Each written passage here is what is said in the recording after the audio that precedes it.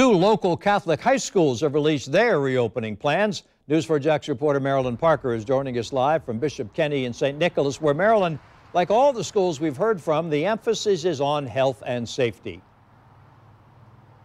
That's right. Bishop Kenny and Bishop Johnson, uh, excuse me, Bishop John J. Snyder have done so. The superintendent of schools for the diocese tells me each school has created its own timeline for posting the plans publicly, but says many of them have sent plans out directly to parents.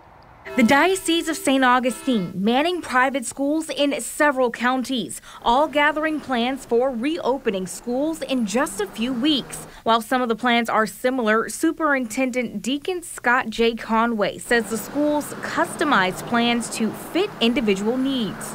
Is it safe to say that all of the schools will be returning to campus as far as having everyone on campus?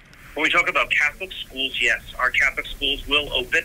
We will have uh, everyone returning to the campus. Uh, for those that have medical reasons where they can't return to the campus, we will be offering a medical virtual learning um, for those families. Uh, until time be where they can return back to the school and back to the classroom.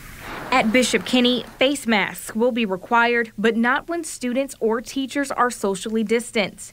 They are required on buses, and drivers will take students' temperatures before boarding.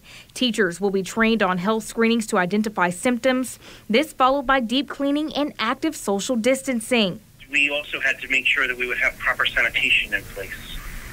So we've purchased electrostatic sprayers throughout the diocese so that we could combat uh, the COVID 19 virus and many other illnesses um, by electrostatically spraying our facilities every day.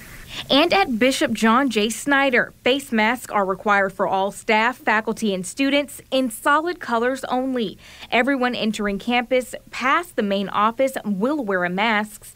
Outside the school entrances, there will be marks to follow for social distancing. They will have temperature checks. The letter to parents also says if a student and his or her family member is in a high risk group, the school will give them the option to continue distance learning where they can participate in real time classes. This option must be approved by the principal. And coming up at 6, we'll look at a few more plans from private schools in our area. We're live near Bishop Kenny, Marilyn Parker, Channel 4, the local station.